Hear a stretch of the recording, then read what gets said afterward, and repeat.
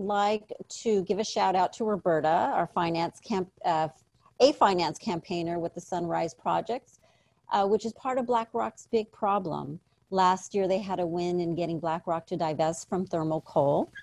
She will join us later to discuss next steps. Uh, this webinar uh, will be recorded and posted on YouTube for everyone to share. Uh, for those of you um, joining us on Zoom and Facebook, if you can introduce yourselves in the chat box or comment section on Facebook and tell us your first name and where you are from and what inspired you to join the call. Our guests today are Amanda, Gaia, Diego, Esteban. Pitzer College students who developed a campus campaign requesting that their college divest uh, the school's endowment from BlackRock. The Student Senate passed this request overwhelmingly, 16 to 1. Amanda Nagaya, Diego Esteban, welcome. I'm going to pass it on to my colleague, Kelsey, who has a set of questions to ask you. Take it away, Kelsey. Hi, everyone. Thanks for being on here today. I guess our first question for you all is we just really would love to hear how you developed the campaign initially and how you grew it. Amanda, do you want to start with this one? Um, yeah, I can start. Um, so I was sort of loosely involved with the No Tech for ICE campaign going on um, in the summer of 2019. Um, so that campaign kind of focused on which corporations, specifically tech corporations, that profited from immigrant detention. Um, and as a result of the work that those activists were doing, um, a lot a lot of information came to the surface about which corporations um, as a whole were profiting from immigrant detention and private prisons. Um, and I found that many universities were really involved with this, um, either the prison industrial complex or family separation and immigrant detention. Um, and it, you know, kind of led me to want to research deeper into what the college I was about to enter into as a first year, um, what they were involved in.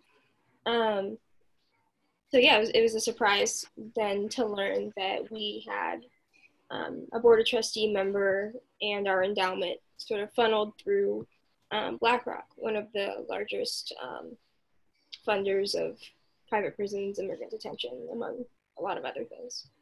Yeah. Yeah, um, and I think from I guess from like our uh, Amanda's display on like the free wall, and then uh, which sort of tied BlackRock to Pitzer. Um, it's we sort of like took the reins of sort of like being the people that were really focusing on educating ourselves and then educating the larger student body. Um, we made a lot of we started off like making a lot of posters, just getting the information out there because it's a very like it's not something very simple they can like find out. It took a lot of work and effort from everybody else to find out all the information. And so the main goal is to like spread all the news as much as we could.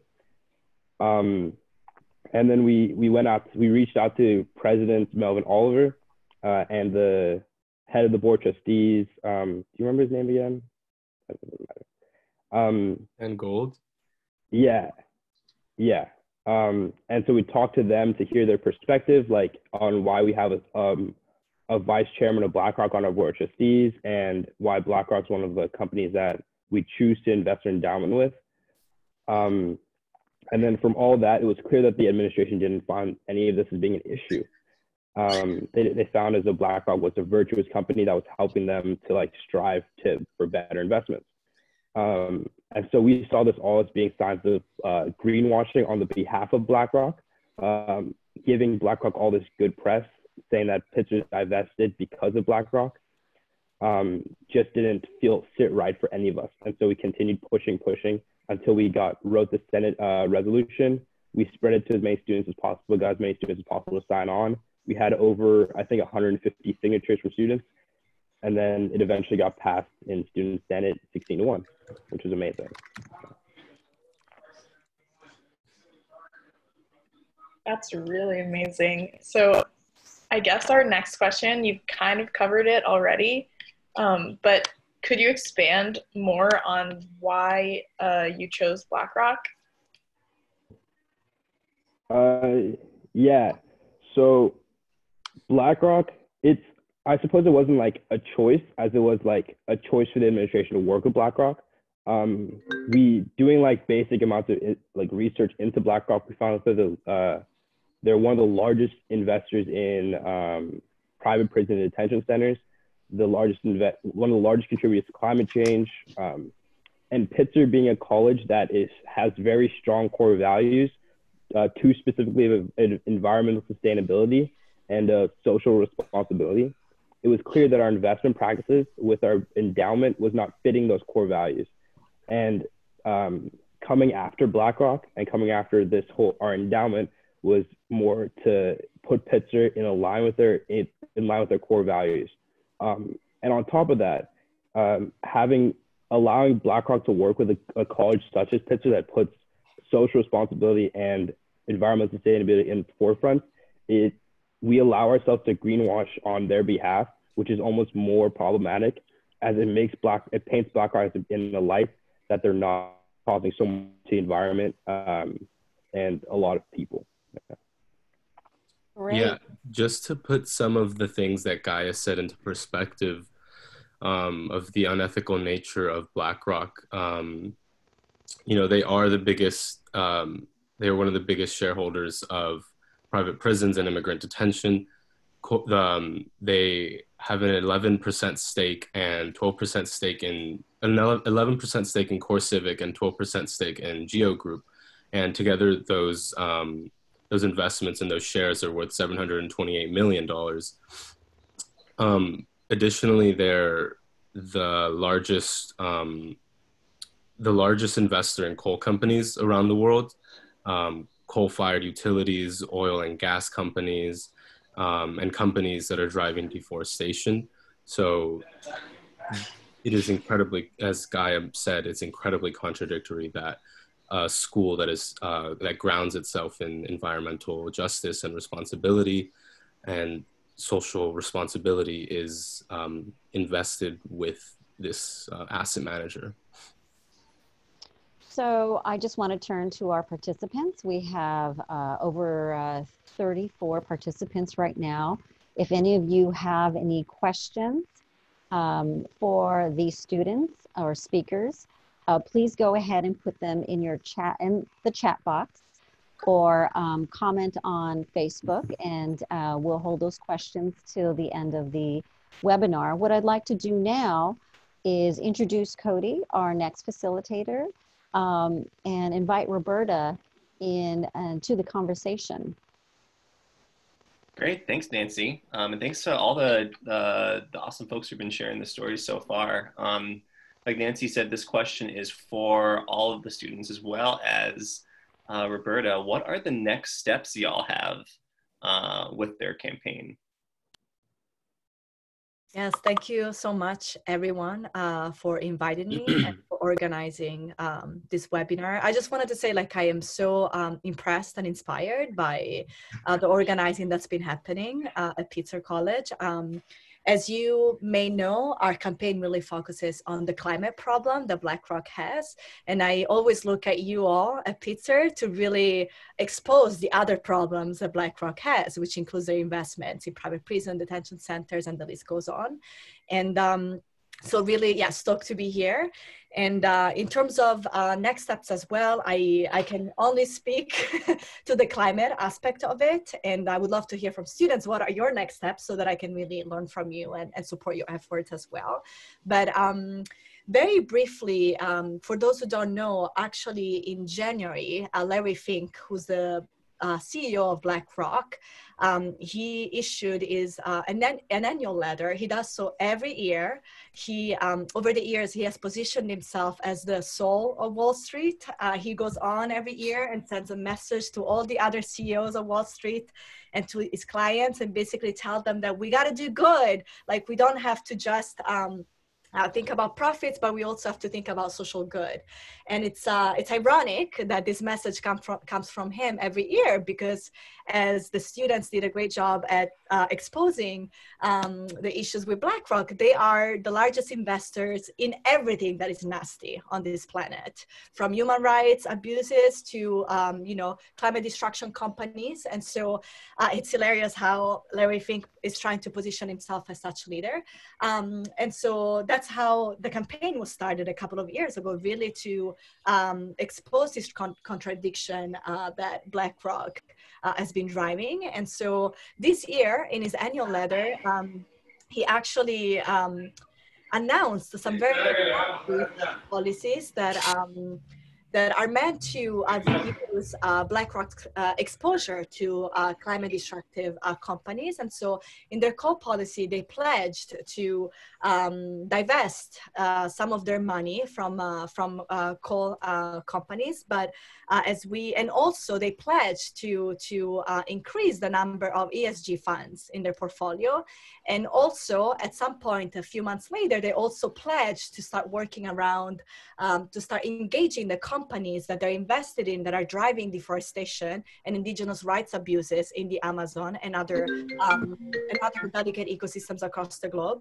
But um, as we took a deeper um, look at these announcements and these policies, we noticed that there were just so many flaws and so many loopholes. Um, and so you know, despite these announcements, actually BlackRock still remains the largest investor in everything that is bad on this planet. And so, as a campaign right now, we're really continuing to a um, uh, to pressure them to really keep them accountable for these announcements that they have made, and not only just that, but to improve these policies that they have announced because they're just like very weak and honestly, they don't do anything in terms of. Um, uh, solving their climate and human rights problems. And so, so that's one thing that we're doing. And then um, the other thing is um, shareholder season is starting. I think it was uh, Diego who mentioned how BlackRock is also is the largest, but the nature of its business is the largest shareholder company in a lot of these companies. And so not only they can um, influence companies by threatening to divest their money, but also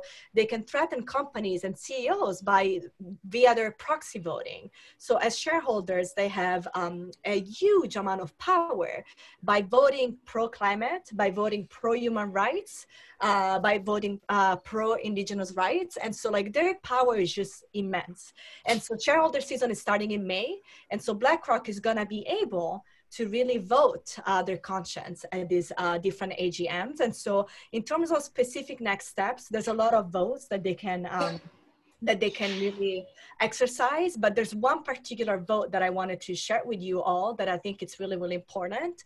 So BlackRock is also one of the major shareholders of uh, JP Morgan Chase, which is the worst bank possible in the world. They're also the largest funder, investor of fossil fuels.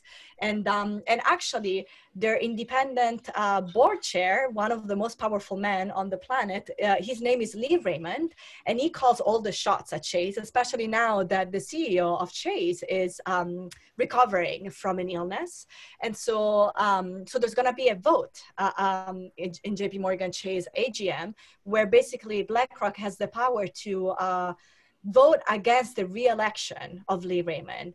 And so why is this important? Lee Raymond, uh, for those who don't know, he's actually um, the former, um, he's actually the former CEO and board me member of Exxon. And so he spent his entire career um, basically funding uh, research to um, to deny uh, the existence of uh, climate change and also to really um, manipulate the conversation happening around climate change. He was also part of the Exxon New, um, so really just like he knew very well what the issues with climate change were, but he did the very best. Like he used all his power and money and resources to make sure that there was not going to be any action taken uh, in terms of tackling climate change. And um, he was also uh, on the board of the API, which is the American Petroleum Institute, which is one of the biggest influential groups from the fossil fuel industry out there. And right now, you know, he's on the board of Chase. And so if you ever wonder how come Chase is not taking any action to tackle climate change, it's because of Lee Raymond. And so so I really want to invite you all to stay tuned. We are organizing a series of call-in actions to really get BlackRock to vote Lee Raymond off the board of Chase. So I will follow up with more details, but that's um, it's going to be so critical that BlackRock hears from you all and thousands of other activists across the U.S. because their vote uh, has so much power and influence, and we can absolutely, absolutely get a huge bank like Chase to change. They uh, it on their Instagram if we get off Lee, uh, if we get Lee Raymond off the board. So um, yes, thank you and stay tuned. I will send you more details soon. Cheers. Thank you, Roberta, for sharing your next steps. Uh, let's go ahead and hear what the next steps are for the uh, Pitzer College students. Um, yeah, so definitely like uh, dealing with the issues Roberta um, mentioned um, and having the conversations around those are huge. Um, we have compiled a lot of research, and um, luckily, we were able to bring that research to Student Senate and get our resolution passed. Um, as it currently stands, we are trying to bring that resolution to College Council, which at our college is comprised of faculty, staff, um, and students. And that council will be responsible for voting on it um, whenever the council reconvenes. Obviously, this is a very up in the air kind of situation. Um, but we are currently lobbying for that to be voted on um, because at that point, once College Council approves of uh, our divestment um, fully from from BlackRock and from these issues. Um, we hope that President Melvin Oliver will sign off on it and we will fully be divested. Um, we are aware that there is a huge potential for Melvin Oliver to veto um, this bill once it gets passed. Um, but I can let one of the other activists sort of speak on that.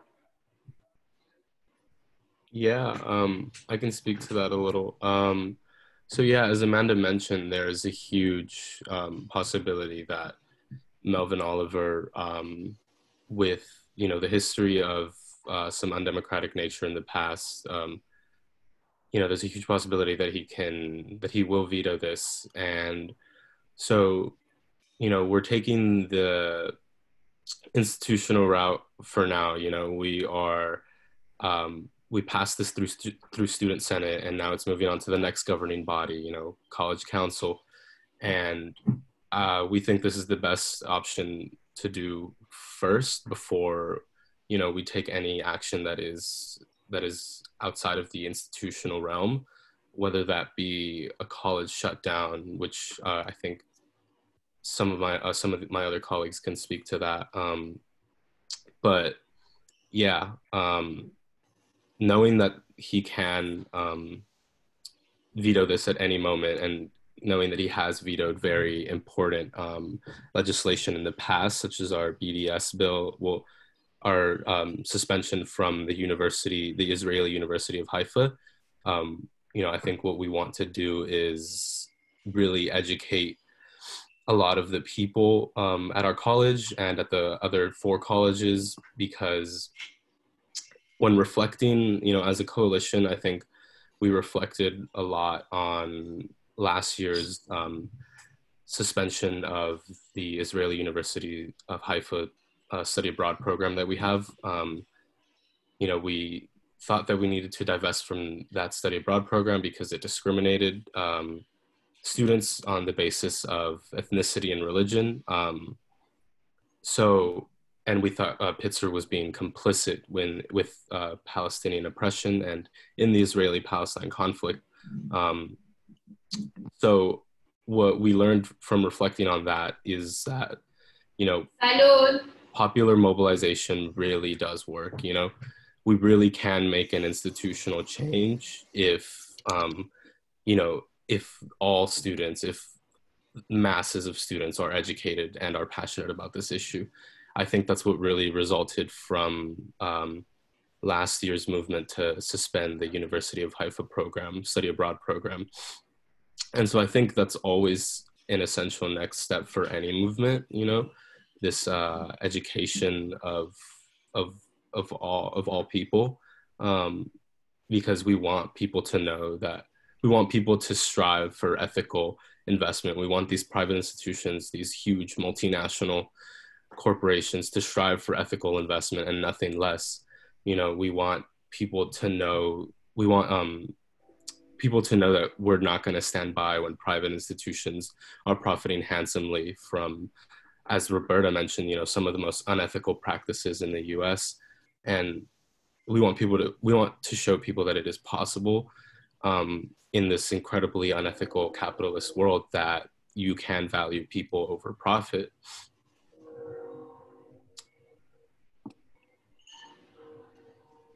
Um, and I think maybe just one more thing to add. Um, also, can you guys hear me? Okay.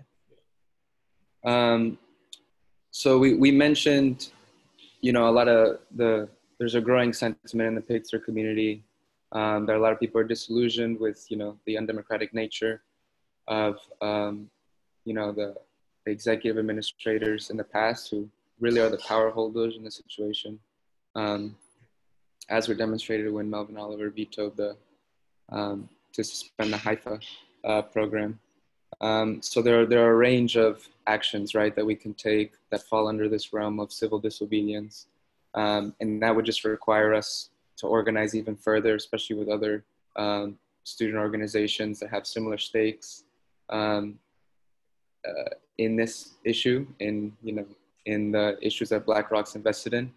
Um, so if you're a student um, watching this right now and are part of an organization um, that is affected by issues that you know BlackRock is invested in, please reach out, um, and we would love to organize further with with you all, faculty as well. Um, and that's something we're already in the process of doing. Um, certain affinity groups, certain departments um, that have shown support, and I think beyond that as well. you know, Pitzer's one school that has this kind of relationship with BlackRock. Um, so also looking beyond Pitzer and organizing with other institutions uh, and other organizations um, that are also in the same fight, sort of like Roberta um, was touching on, um, and really um, trying to combine all our forces and and because um, if one of them, you know, one of us hits them, you know, it might slightly give a dent or something, but we'd have much more power if we were organizing um, across, you know, a widespread coalition of different institutions um, and organizations. Um, so yeah, I think that was just one thing I wanted to add about looking beyond the campus as well um, and really thinking um, about the issues on a more macro level.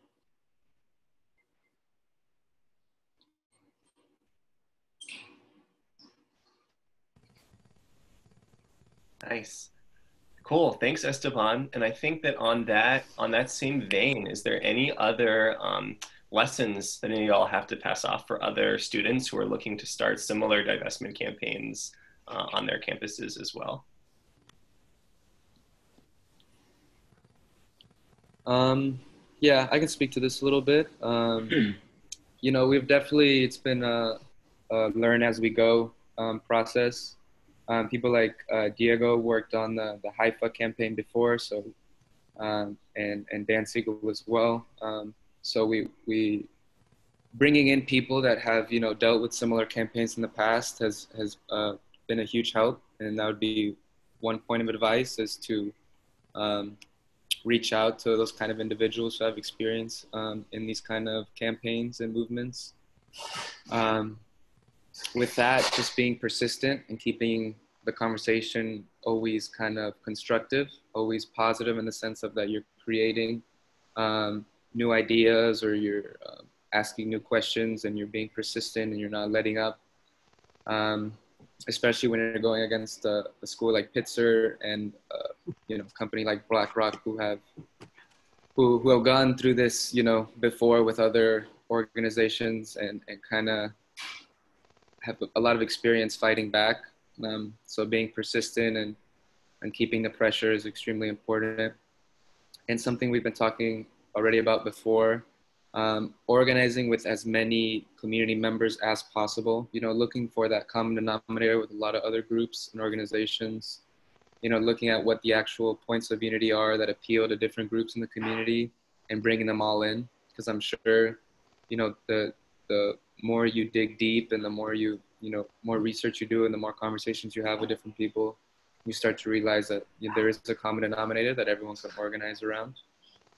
Um, anticipating counter arguments from the school and the company is, is has been huge. Um, so we can kind of be um, when we kind of expect these responses, we're you know we're ready with things to say about them, and they're usually kind of these very capitalist, for-profit, you know, arguments that um, have a certain logic, and when you understand that, there are, there are ways to you know present different logics like putting people before profit or putting the environment um, before profit. Um, and I'll, add one more thing, and then you know other people can add stuff in. But um, a big one was meeting people where they're at. Um, you know, a lot of people are you know were ready to get down immediately, and you know already sort of know the nature of um, companies like BlackRock. Um, but a lot of people, you sort of have to walk them through the steps and you know walk them through the arguments in a way that resonates with them. Um, and not jumping immediately at you know the the core the core of it, but sort of meeting them where they're at, understanding their perspective and their background, and, and getting them to where you're at, and not judging someone immediately because they're they're not in favor of the of the movement. Yeah, I I want to add something to that. Um, it's really important to meet people where they're at, you know, and I think this, I think like it, um, as I mentioned earlier, you know, like we want uh, the masses of people to be educated and organized, you know, and I think meeting people where they're at, you know, is a really important um, aspect of popular education, you know. Um, you can't expect everyone to be at the at, at where, where you're at, you know. And so it's important to meet those people where they're at and help them understand and help yourself understand that this issue is very interconnected and that this organizer that you were you know trying to build a coalition with also has a stake in this because as we've seen blackrock is invested in some of the most unethical things and you know a plethora of unethical things in across the world. So i think it's really important to meet people where they're at. You know it's integral to popular education. Um, and one thing i did want to add uh, i guess another um, point of advice is coalition building. You know, I can't stress enough how important coalition building is, as Esteban mentioned earlier. Um, we've been getting a lot of help, you know, and just support um, from Students for Justice in Palestine. You know, this is something that uh, they really care about as well. And so that has helped us out a lot because, you know, um, they are a very organized club on campus. And, you know, as Esteban mentioned this was a learn as we go, you know, process. So there was ups and downs in like the movement. You know, there was um, a lack of dialogue at one point. You know, dialogue was being stifled because you know that because this was just such a controversial issue on campus. But um, you know, getting the support from clubs like Students for Justice in Palestine was huge. You know, because um, their club members were immediately in support and were willing to help in any way. So coalition building can be really important and helpful. Yeah, I think my own um, biggest piece of advice is that like no matter like how daunting a task may seem, I feel like all, like anything is possible. Um, a lot of this like this issue seemed like it it would take years to like even address to like make it to this point. But just from like the hard work of a couple of people, we managed to like make huge strides and have this resolution passed. Um, and with that, like you, if you're trying to do any kind of activism work, being a student and then trying to change your college, you really need to be like the biggest thing is to be educated, because when you're trying to make a call, uh, like to make any um, movement like this, the administration, the staff always assumes that you come from a place of ignorance, and so any communication they have with you, they try and um, sort of belittle your understanding. They try and talk down to you, and then just telling coming back with like uh, you do you do know the facts you do know the research and that the things they're saying some of them like are just false some of them are misconstrued all these things are ways and tactics for them to like put you down. And being prepared to rebuttal and being very like confident in all the research that you have done is extremely essential in making any of these movements successful.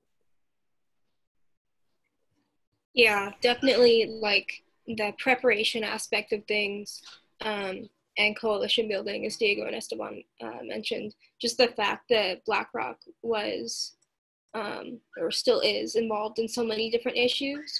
Um, there are many different groups, whether it's Students for Justice in Palestine or um, respective affinity groups um, or the Sunrise Movement, whose students have been doing a lot of really great work. Um, they all have this connection of BlackRock funding these things. Um, and money really does, you know, push these things further. Um, and without the funding, a lot of these issues wouldn't be as prevalent as they are. And so BlackRock being the root of a lot of these issues um, was very important and very important to, to let people know this issue impacts everyone, really.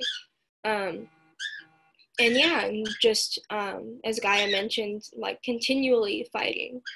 Um, you are, as, as a student activist, you're going to be, you know, put down because the administration assumes you don't know what you're talking about. Um, or they make the assumption that, you know, there's something else behind it, or you just, you know, want to protest about something. In reality, um, you know, this is a major corporation that is um, knowingly taking part in a lot of these things. Um, and just knowing that as a student activist, like what you do does matter. Um, you know, the the work of Pitzer students in the past trying to have us divest fully from fossil fuels, um, and still some questions raised about that. Um, but the, the work those uh, protesters and activists have done in the past, um, the work of Sunrise Movement kids across the nation, um, and even back in the 80s with the divestment from South Africa. Um, you know, those were extremely impactful movements. And it really shows the power and the effort of student leaders.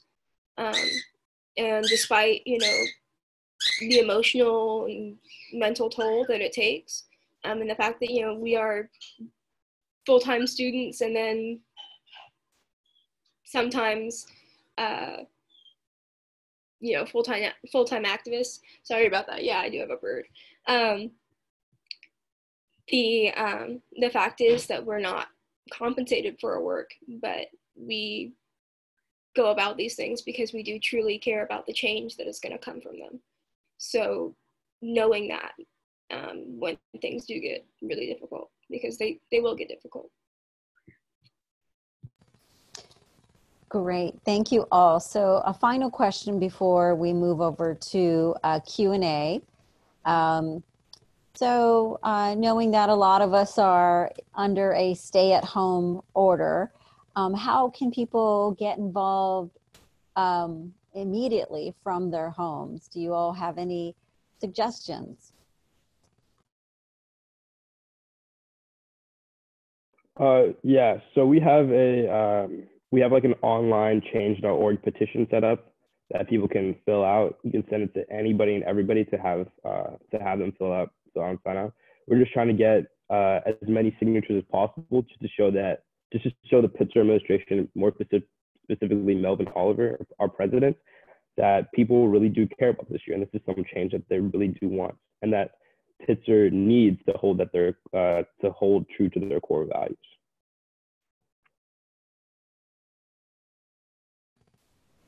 Yeah, and I think in addition to that, just knowing um, you know, taking time for yourself is okay. Um, this is obviously a pretty unprecedented time for everybody. Um, and I think a lot of people have this feeling that we have to be productive in um, in isolation, and it's very difficult. Um, I myself, I, I've lost somebody to COVID nineteen, and I'm sure you know it's an issue impacting almost everybody. Um, and so, taking time for yourself, that you know, that rest is resistance.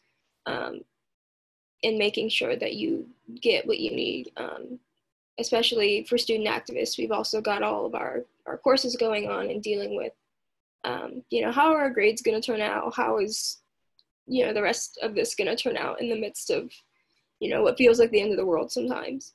Um, you know, dealing with that. Um, yeah. Yeah. Your rest is resistance. I think that's also just really important. Well, I just want to thank you all for joining and taking time out. And so sorry to hear about your loss, Amanda. You all are just an inspiration, and your tenacity and your persistency is so inspiring um, to us. And um, what I'm going to do now um, is I'm going to pass it over to Carly. Uh, Carly has been collecting um, the questions from our participants. So Carly, want to take it away? Sure, thanks Nancy. Um, so thanks for everyone who has submitted questions in the Q&A chat box. Um, you know, it looks like all of the questions that were submitted have a very similar theme, so I'm going to combine them um, and ask the students and also Roberta if you could answer. Um, a lot of people are interested in hearing more about um, what are what your plans are for reinvestment, right? So um, I think a lot of people on this call understand or are on board with um, the fact that BlackRock is invested in these terrible companies, um, but they're wondering what can we place our endowment in? What should we be investing in? And just curious if you all have any thoughts on that. Um, so the first question was directed at Roberta, so maybe we can start with Roberta and then move on to the students. Uh, yes, I um, I am sure that the students have done research in terms of finding alternative asset managers to BlackRock, and so I will let them speak um, on that. Um, generally speaking, um, the asset management world, just because capitalism sucks, uh, it's really hard to find a good one. And so I think there's a question of like reinventing the whole system, to be honest. Um, and so um, there is no like good actor out there. Uh, what I will say is that there are better actors. And so um, there are potentially uh, other asset managers that Pitzer could um, could contract out and um, and really um, send a message to BlackRock. Like you're gonna lose one of your um, important clients because honestly, university endowments are huge clients for for BlackRock, and so it would send a huge uh, signal to the asset management industry that you know they're willing to um, take their money away from BlackRock unless uh, they see a change. And so, um, so that's one point. There are other asset managers are a little bit better. And I actually wanted to share a report that one of our partners released uh, recently. Um, they're called ShareAction, and um, they recently released a um, a scorecard. And so they looked at asset managers, not just in the US, but also from Europe. Um, and uh, they basically uh, graded them like based on uh, their investments. Um, I think it was mostly focused on climate. Um, and, uh, and so you can see that there are some asset managers in Europe that they're way better than um, the asset managers in the US. You will see in this report that all the US asset managers are just the biggest laggards. And so they're all terrible. And um, I just wanted to also um, let everyone know that a very um, something that happened in January. It was either like at the end of December or January. Actually, uh, Japan's government pension investment fund, which I think it's worth 1.6 trillion dollar um, they actually moved their money out of blackrock because at that time blackrock was not um, really uh, taking any action on climate. They moved their money out of blackrock and they basically opened a contract with um, uh, a European, a European asset manager company, Legal and General, uh, which you know they're more aligned to um, to uh, the, the pension fund uh, sets of values, and so it's totally doable. The other option is like Pitzer, they could manage their own funds in house. That's some something that universities do. Uh, I think, for example, I went to UC Berkeley, um, so this may be outdated uh, information, but when I was a student, and I was also um, uh, helping with a with a divestment campaign. If I remember correctly, the UCs they managed their assets in house. They did not have external asset managers, so that's an option too. Um, so yeah, so that's kind of like my share on this. But I'm sure the students probably even have specific recommendation. So I'll pass it on to the students. Yeah, I mean, to I'm sure Gaia has the specifics on um, particular groups if we choose that route. Um, but yeah, also CalPERS, um, the California um, state employees, uh, their board of administration also um, sought to divest from oil and gas um, and to sort of be more engaged um, with access and be more engaged with workers' rights and, um, you know, a more ethical um, standpoint when it came to investing. So, you know, it's, it's also something that had um, happened here in California. Um, and I think back in like 2009, um, Columbia University divested from private prisons. So is not a radical notion. It is not out of the um, out of the realm of possibility. It is something that has been done before, um, and it's it's not a huge ask. But yeah, yeah, I think Gaia has the specifics on groups. Yeah. Um, so giving like a little bit of background before I like talk about that. Um, Pitzer Pitzer was once invested in fossil fuels, and so in 20, I believe it was 2012, we made the decision to divest. And then in 2014, we eventually uh, invested alongside BlackRock. Um, and so like the steps to divesting is like uh, disclose, divest, and reinvest. And Pitzer did a great job of disclosing that like we were invested in fossil fuels and then divesting from fossil fuels. However, they made they made that false step of uh, reinvesting alongside BlackRock. Um, and so our the main the, our goal is to make sure that that last step is fall through in like a correct way. And so one of the things that we have in our resolution is to um, make sure that the decision as to where they choose to invest their endowment next is one that's decided by a larger discussion that's not limited just to the administration. Um, so that would be like a discussion including faculty, staff, and students as well. Um, this way, it's like something that encompasses a larger body than just the faculty or just the administration. Um, ask answering like a little bit more specific funds that we found our asset manager that we found ourselves. Um, we found a little bit of information about uh, Calvert Asset Management, uh, Trillium, and Boston Common Asset Management. Those three are like the, the three ones that we found to be like the most, uh, I guess, socially responsible in a sense. Um, but also, I did read this, um, the uh, ShareAction um, file, which is awesome, uh, listing the top 40 uh, largest asset management companies across the like across the world and ranking them all. And honestly, if we find something that's like an asset manager on that list as well, that could also definitely be uh, a great opportunity for Pitzer to divest instead. What's really difficult is that as we're the student, the, the activist putting on like the burden of like pushing our college to do more, people also expect us to be the ones to like uh, reach out to these asset management companies, uh, create the contracts, do X, Y, Z. When in reality, we're full-time students. We're not we don't have finance degrees. We're not being paid by our college.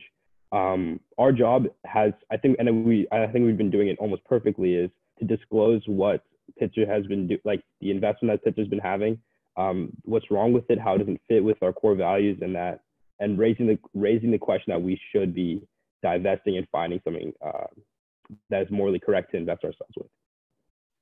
Yeah, the disclose aspect of things has definitely been um, where uh, not only Pitzer but most colleges have fallen short.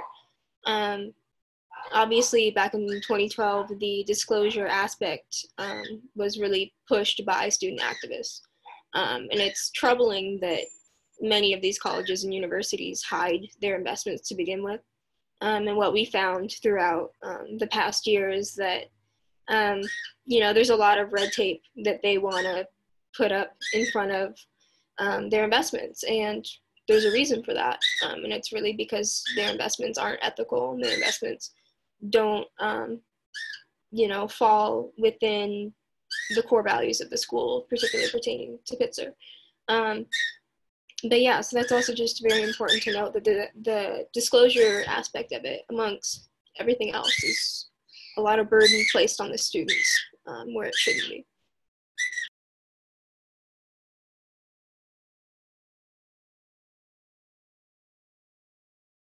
Awesome. Thanks, um, everyone, for kind of offering your thoughts on that. So those were the questions that people have. Um, it looks like, um, let's see, we have some comments um, from community members too. You know, it's important to address that um, the code pink on our divest from the war machine campaign um, i just wanted to um, let people know that if you go to that website i posted in the chat box we'll also send it to you via email um, we have an entire um, uh, place where you can search actually funds um, uh, it's called we have a sorry a fund searcher it's called weapons free funds manager and you can go and search and see if the things that you're invested in um, is invested in weapons stocks or weapons manufacturers. So if you go to our website, um, you can check out and search the funds that you're invested in by name and see if they're invested in, in, weapons manufacturers. So there are actually tools out there that can help you as well see what these asset managers and financial firms are actually invested in. So I just wanted to draw people's attention to that too. And it's in the chat box. So that's awesome. Um, and then just one more thing that before we move on to next steps and um, kind of wrap up, I just wanted to say that one question that somebody had, it seems pretty simple. That they're asking about the research that students have done on this issue. Is there a place where fellow students who are wanting to get involved can find that research? So where can people find that research that you all have been mentioning? Um, yeah, we created a sort of a Q&A PowerPoint, which will have like, um, what is BlackRock? And then answer those questions for you. And so we've created that and we can um, send it to you guys and it can be sent to everybody that's been a part of this uh, live stream. Um, and we also have a reader, no? We also yeah. have a, yeah. yeah. So there's also a reader that we can share with links and information. Um, Fantastic. And um, all of the specific um, asset managers that you all mentioned, um, we can also send that out because somebody was asking about that in the Q&A, so we can send that information as well. Um, yeah, so I just wanted to thank everyone again for joining us on this webinar and for to the students for your knowledge and all of your energy that you've put into this campaign. It's been very inspiring to hear from you. Um, and also, thank you, Roberta, for joining us and um, telling us a little bit more about how BlackRock is invested, unfortunately, in the companies that are driving climate change. Um, you know, one thing that I think is really important about this webinar is that students at Pitzer College have shown that even though BlackRock is um, the largest financial asset manager in the world, you can actually take it on in your local communities. Um, and this is really the ethos that um, drives our entire Divest from the War Machine campaign at Code Pink. So I quickly just wanted to share my screen and show some folks some um, next steps and resources that Code Pink has in case anyone is interested in um, also starting their own Divest campaign on their campus or in their community. So let me go ahead and share that with folks so you can see. All right, hopefully folks can see my screen. Um, so um, as I said, um, Code Pink has also a Divest from the War Machine campaign. You can find more information about this at codepink.org slash divest. Um, our campaign is really focused, as I said, on making sure that people in their local communities can organize against the war machine and its various, um, all the various forms that it takes. One of the things that we talk about is divesting from BlackRock. We're also um, really interested in making sure that local communities can divest from weapons manufacturers in um, their city, but so local cities invest in these, but also university endowments invest in specifically weapons manufacturers. So it's really important that people feel empowered to take on these weapons manufacturers and BlackRock in their local communities. So I just wanted to share with everyone some next steps that people can take um, in order to start doing that right now. Um, so everyone here has heard about all of the awful things that BlackRock is invested in, um, from private prison companies to uh, fossil fuel companies. And then of course, importantly, BlackRock is the largest um, investor in weapons manufacturers in the world. And we're telling Larry Fink to divest from war. Um, and so you can go to codepink.org slash Larry Fink to sign our petition asking Larry Fink to divest from the war machine. Um, And then I also wanted to draw people's attention to the fact that, again, we need to start these kinds of campaigns to divest from war and divest from BlackRock in our local communities all across the country in order to build a groundswell of support. So we wanted to invite folks to sign up to join our Start a Divest campaign by going to the link here. It's just bit.ly slash divest sign up. And a Code Pink organizer will be in contact with you to talk more about starting your own campaign. So those are my next steps. Um, Nancy, did you want to close out? Okay, well, let's just close out with um, see if anyone has any last words that they would like to share with the participants. Again, I want to thank the participants for joining today and asking um, uh, the tough questions uh, for our panelists. Um, but is there any final words? Um, Dan, we haven't heard anything from you. Um, you'd like to add, would you like to add anything? I'll just say that how inspiring it is to have students who are accepting the responsibility as citizens and the responsibility of their education. Education gives us more power to produce a humane future. And if we don't take that with our education, we are not accepting the responsibility of it. And these students are the very exemplar, the very highest model of doing that. And there's nothing more satisfactory and rewarding for me as a faculty member who's taught at Pitzer for over 30 years um, to have students embrace with radical love that responsibility of their education to produce a better world. Um, and, you know, for me, I've recently become a grandfather, and I want to thank them for my two beautiful little granddaughters and for all of the world's precious babies. Um, we need the work these students are doing. And I know several of my faculty college are listening, and I want to urge you um, to join these students and support them and broaden the support from the faculty for this social justice movement. Pitzer's radical past deserves the radical future these students are trying to make happen. And I just want to thank them. Amen. So on that, we will go ahead and close um, our uh, webinar for today, and we look forward to taking action with you all in the future. Thank you.